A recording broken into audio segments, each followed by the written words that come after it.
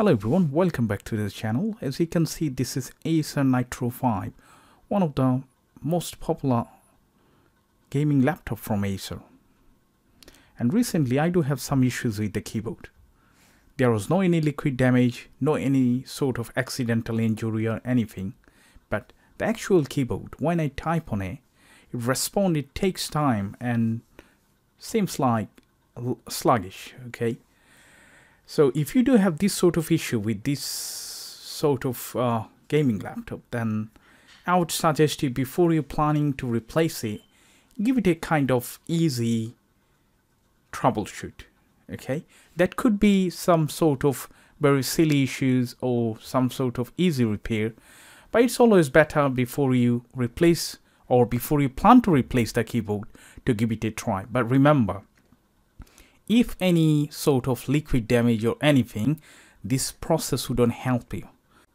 So this keyboard is not directly connected to the motherboard, I mean the flex.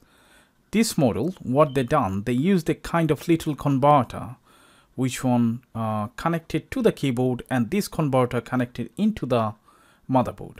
Okay, I think that might be one of the reason why it displays like that.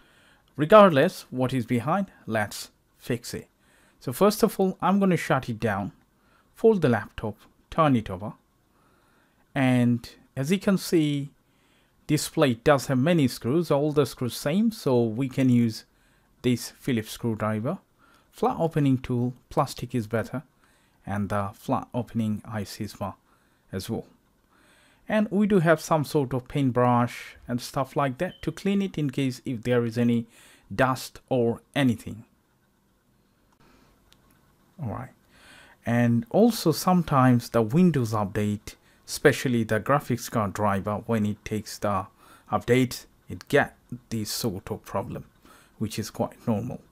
So let's open up and check you know, we're gonna check the connector if there is any loose or anything or any sort of changes.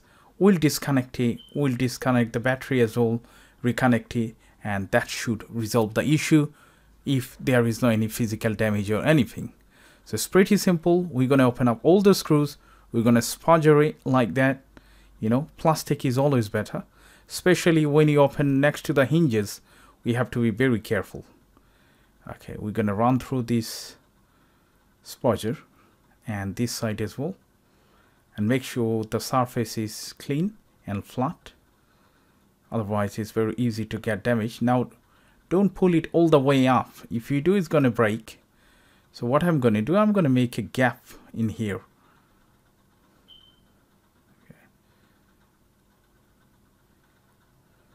Yeah. And when you take out like that it might damage you know couple of plastic bits as you can see one of them broken but this is normal. Let's take this out. And that's the back plate and now, if you look at the actual motherboard, and if you try to find the battery connector, I can see the battery connector is not in right position. Okay, but first of all, let's disconnect it. And then we're going to take this out.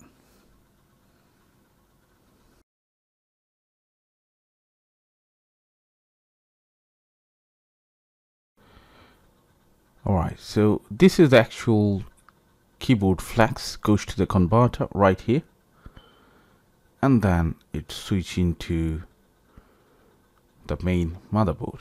So first of all we need to remove it.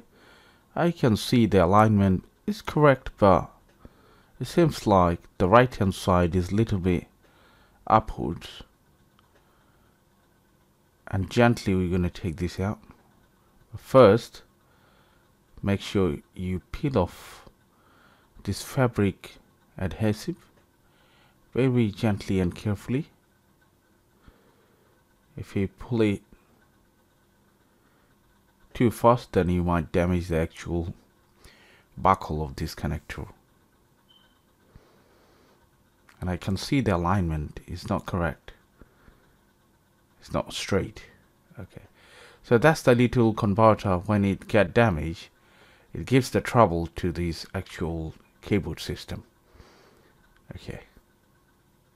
If the keyboard doesn't respond at all you might can change this part or you can just clean it and try it back.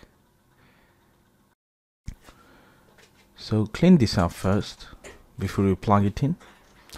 And this machine is great. It has two RAM slot two M.2 NVMe and one 2.5 inch SATA slot.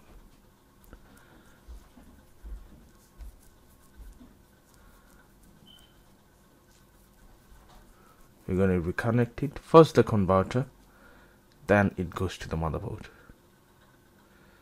Check the alignment gently. Close it. One by one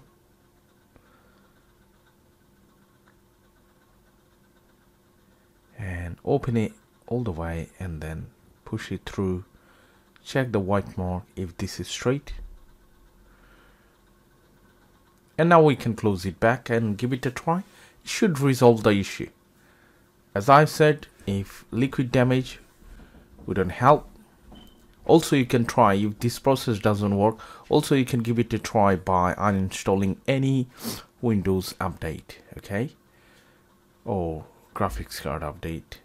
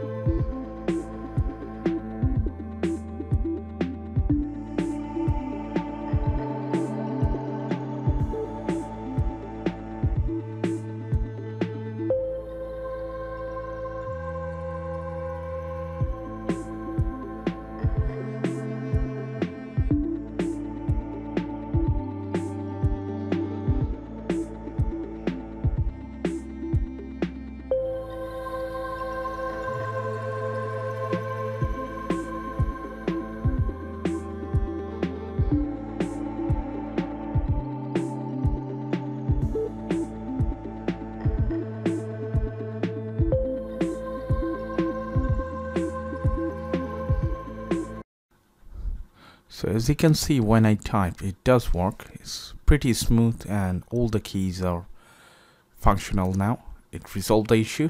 Thanks for watching. Hope see you in the next one. Bye for now